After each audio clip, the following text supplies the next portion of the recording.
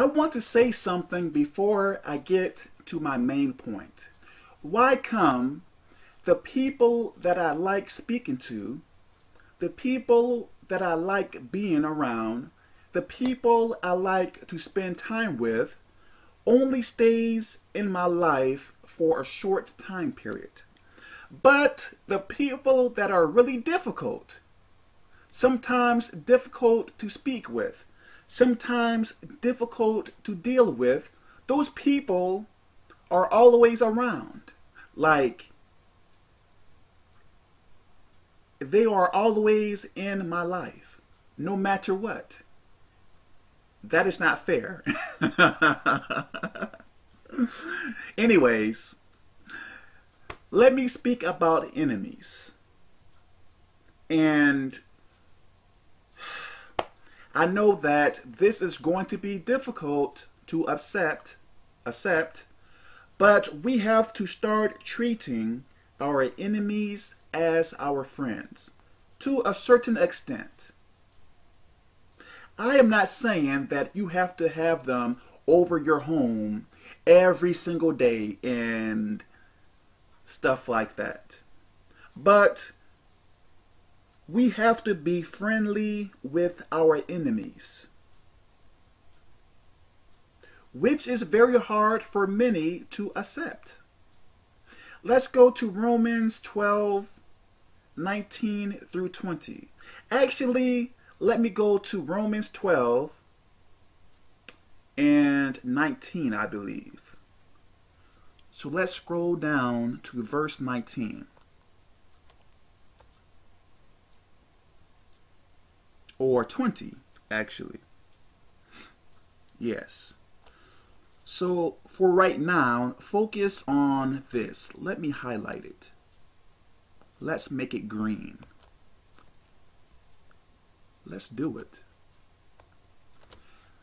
Therefore, if thy enemy hunger, feed him. If he thirst, give him drink. For in so doing, thou shalt heap coals of fire on his head. So let's break this down. Therefore, if thy enemy hunger, feed him. I know that when you have an enemy, you don't want anything to do with your enemy. I know I don't. But as I stated, we have to start treating our enemies as our friends. Even if your enemy have stabbed you right in the back 200 times. Mm, mm, mm, mm, mm, and, and just grind it in there. we still have to treat them friendly. We still have to be friendly to them. So if they hunger, we have to feed them. Hey, Kevin, you know, I am broke. If there is something you really wanted, you are going to save money for it. You are going to find a way to get it. So if you can do that, you can feed your enemies as well if they come to you. I am not saying to go out your way, which you can do, and try to feed everyone that is hungry, which you can do, but I am not saying that. If your enemy comes to you and say, hey, I know that I stabbed you right in the back 200 times. I know that is what I did. I am so hungry. Please give me something to eat. What if you say no? Hey, Kevin, what if I say no? I believe you will be cursed by God for that. Or you are going to get punished by God for that. We have to understand everything in this life is a test. There are no coincidences. Everything that is happening to you is happening for a reason. Everything that comes my way is happening for a reason. When people come to my life, it is happening for a reason. When they leave, it is happening for a reason. There is no chances. There is no such thing as chance. There is no such thing as bad luck and good luck. It is all about what God wants. No coincidences. Once you start to understand that, you are going to do better in life and pass more tests other than continue to fail it and have to go through it over and over and over again. No such thing as a coincidence. We have to pass these tests. God is bringing that enemy to you to see what you are going to do. If you are going to pass that test, He is passing, He is giving to you that day.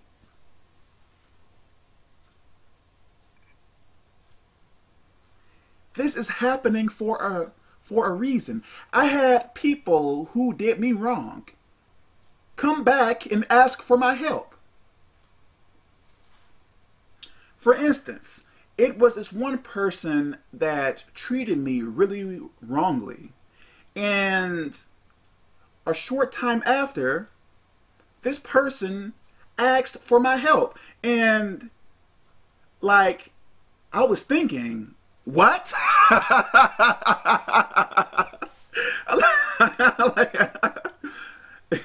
you were asking for my help when you treated me that wrong. Like, are you crazy, you know? But what I did, I am like, no. I mean, I I was like, hey, this is a test, and God is testing me right now to see what I am going to do. So this person asked me to do something for them, and I did it.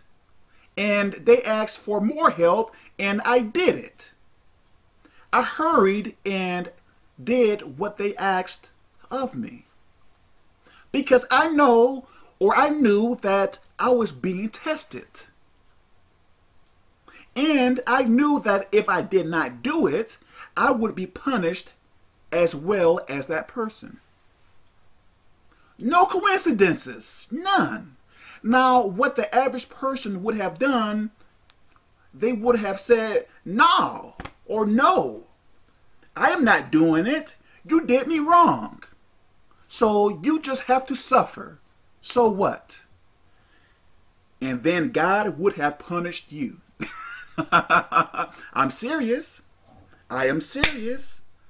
Things happen for a reason. There are no coincidences. None. Zero. Once you figure that out, your life with God is going to get easier. God does things to test you. Hey, let me get this person or let me allow this person to do bad things to you. Afterward, let me get that person to ask you for help. Because what sense does it make for a person to dog you out, then come back and ask for your help? What sense is there in that? That has to be God testing you. We have to take our minds off the earthly and think spiritually. Therefore, if thy enemy hunger, feed him. Why? Because you are being tested. If he thirst, give him drink. Why? Because you are being tested. For in so doing, thou shalt heap coals of fire on his head. So what does that mean? Heap coals of fire on his head. Does that mean does that mean that you are going to get coals of fire and place it on that person's head? No. What that means, give me a second, please. Wow.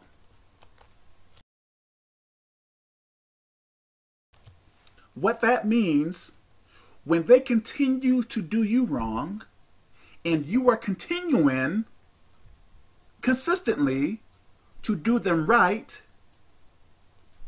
soon they are going to feel shame. They are going to feel ashamed. And soon, yes, they are going to get punished. And there is a large chance that they are going to change and treat you kindly. I pray this makes sense. Let's go to verse 19. Dearly beloved, avenge not yourselves. So when someone does you wrong, avenge not yourselves. Don't do anything, but rather give place unto wrath. For it is written, Vengeance is mine, I have it highlighted. I will repay, saith the Lord. So the reason why we continue to do our enemies right is because God is going to avenge us. If we take revenge for ourselves, God is going to punish us. So when someone treats you wrong, you treat them right. Why? Because God is going to avenge you. But what if you are silly enough to get your own revenge? What is going to happen to you? Your silly tail is going to be punished as well. This is why I don't stress out so much when people do me wrong. Yes, I get annoyed. Yes, I get irritated. But I know that soon God is going to punish my enemies. So they they can take from me, they can talk behind my back, they can stab me right in the back. I know really soon God is going to punish them. I pray that makes sense. So even if it may be hard to treat my enemies right or be kind to them or say anything to them, I know that I should and I have to because if I don't do what is right, I am going to get punished. So, hey, you can lie on me, you can steal from me, you can slash my tires and blow up my car.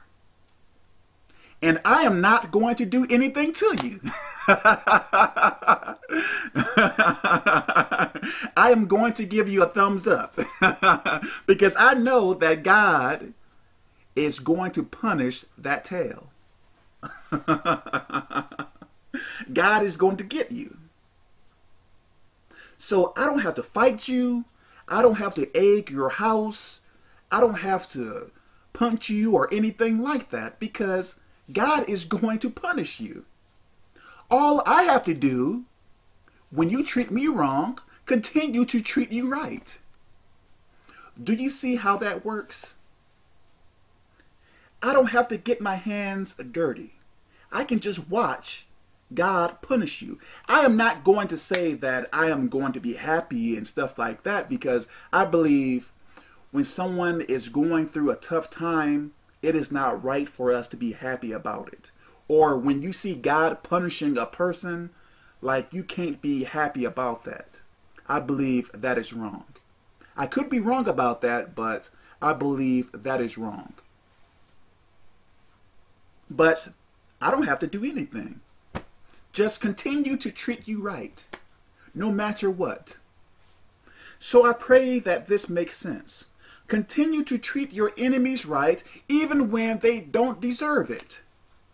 Treat them as if they are your friend. Like for my enemies and the things that I have been doing, I've been giving them things over and over and over again. Giving them things that a person on the sideline would say, Hey, Kevin, why are you doing these good things for these people when they have talked behind your back and treated you wrongly and done many bad things to you? I am doing it because this is a test. How far are you going to go to treat your enemies nicely? How far? Since I know that I am being tested, how far are you willing to go? How far are you willing to show God, like, hey, these people treated me wrongly, but hey, look at what I am doing for them. Look how far I am going to treat my enemies. You have to know you are going to reap what you sow. So when you are doing good to your enemies, you are going to get blessed by God. So how can you lose?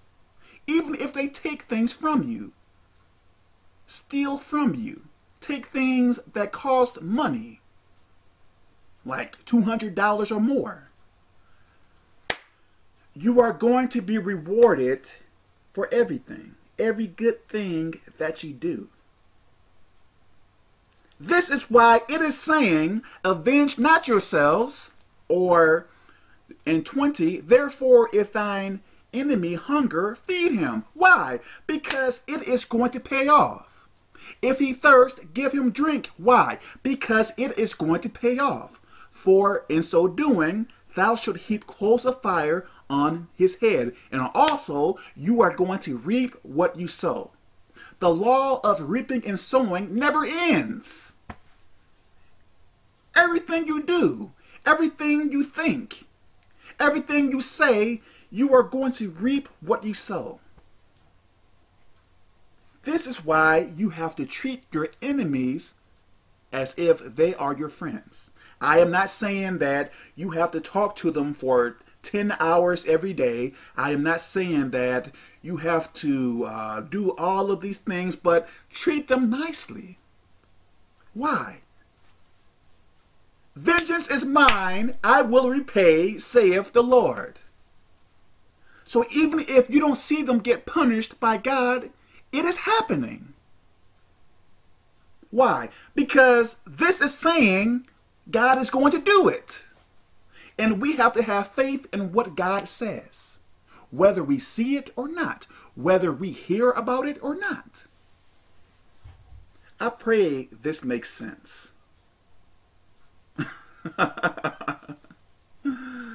My Lord.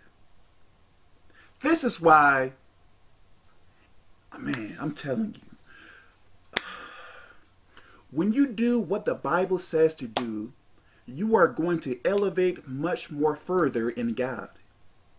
And you are going to see things more in a clear way. Then you are going to begin to understand why God tells you to do certain things. Now, I don't understand everything.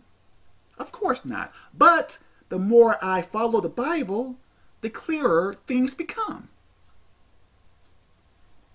Transition your mind off the earthly knowledge and transition your mind to the things of God. Because if your understanding is only about this earth, how are you going to understand what the Bible is saying? You have to transition your way of thinking. So I pray that this makes sense. God bless.